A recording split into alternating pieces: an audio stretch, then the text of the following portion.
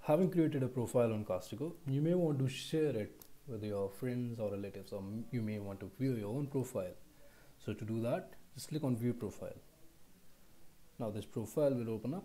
Your basic information is over here.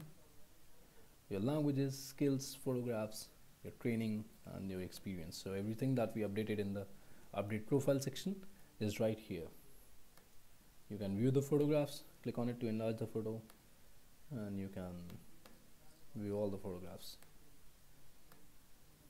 Now to share your profile with somebody else, just click on this button which says share profile and a link will be copied to your clipboard. Now if I open up a new tab and I paste the link and I hit enter, my profile open up opens up. So this is what the other person will see who will enter my share profile link in his address bar. Yeah, I'll close it now.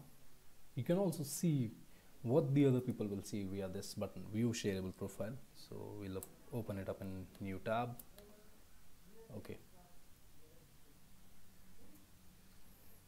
And there your profile is. So you can make changes to your profile according to this view if you need to do that.